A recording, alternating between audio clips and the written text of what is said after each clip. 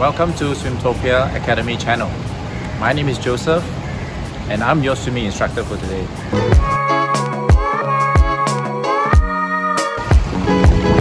Okay. Now if you're wondering what this channel is all about, okay, it's a, it's a channel that's dedicated to give you tips and tricks on improving your swimming. Whether you are a beginner swimmer or you are a seasoned uh, transient trying to improve your swimming in open water. Okay, we can cater for all sorts of swimmers.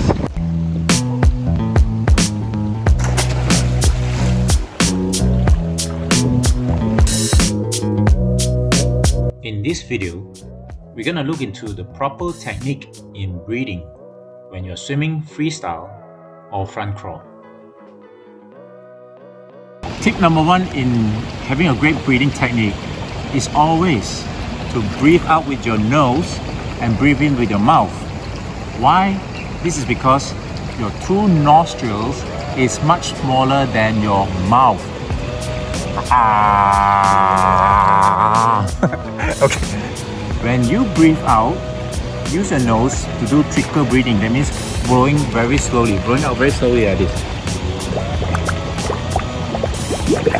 And when you turn,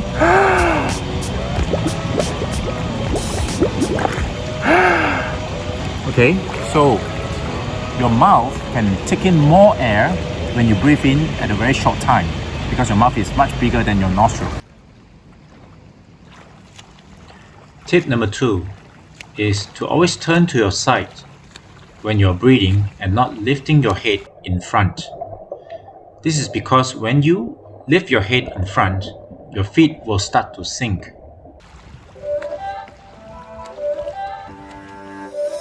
It's not a game, it's a rich thing.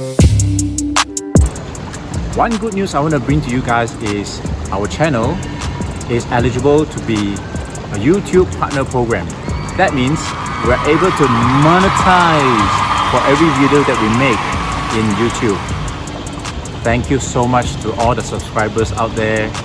It is you that made this happen please continue to encourage us by telling your friends or families to subscribe to our channel and we'll continue to make great videos for you. Thank you!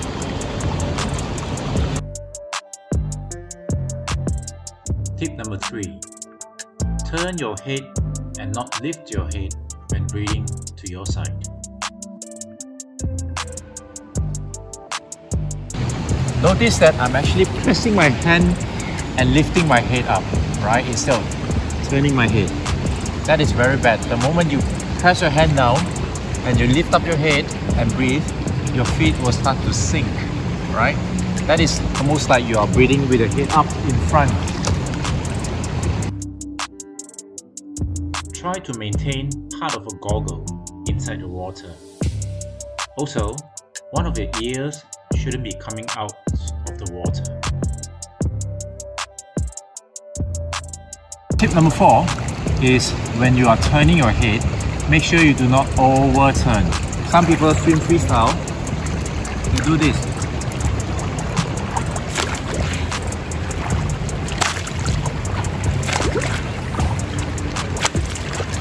Notice that what I did was, when I turn my head, I overturn and I can see the sky above me or the ceiling if you're in an indoor pool. We don't want to do that because every time you do that, you over rotate your shoulder. Your shoulder will go right behind, your hand, arms will go around past the middle axis line and that's where you lose your balance when you're swimming.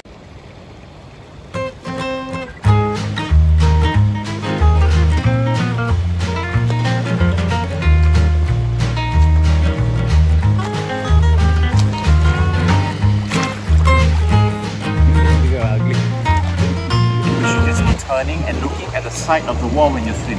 Look at the wall. Look at the wall.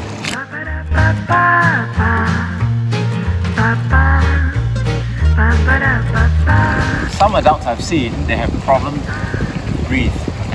So when they come out of the water, they are choking on the water. For example, I show you.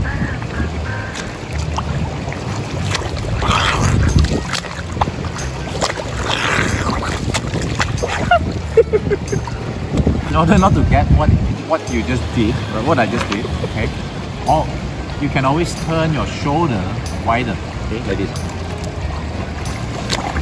Okay, turn up your shoulder so that you don't have, you don't need to turn your neck so much.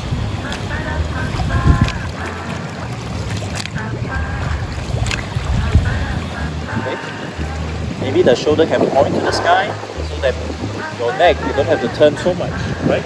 Just turn a little bit and your mouth and nose already come out of the water.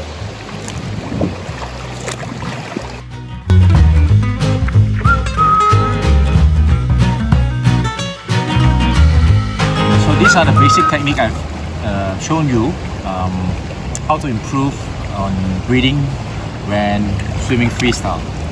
Now, um, when you're able to master this basic technique, try to turn your head faster when you're swimming, when you come up for breathe. Because every time you turn to the side to breathe, getting less streamlined in the water, right? So the less time you take to turn and breathe, the more streamlined your body is in the water, right? So turn faster, head down. One, two, three, faster, head down. Yeah? Turn faster.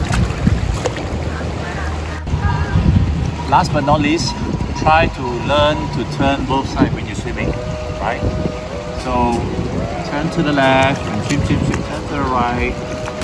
Okay, it helps you not to get one side of your neck sore, especially when you're swimming a long distance and spending hours in the water. Now, also for the benefit of the open water swimmers, um, turning both sides allow you to see your competitors you're swimming in open water, right? You're able to see your competitors on your left and you're able to see your competitors on your right.